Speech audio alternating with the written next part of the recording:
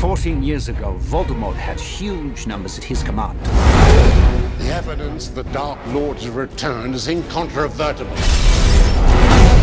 You won't last two seconds if he invades your mind. I'm not weak! Then prove it. If Voldemort's building up an army, then I want to fight.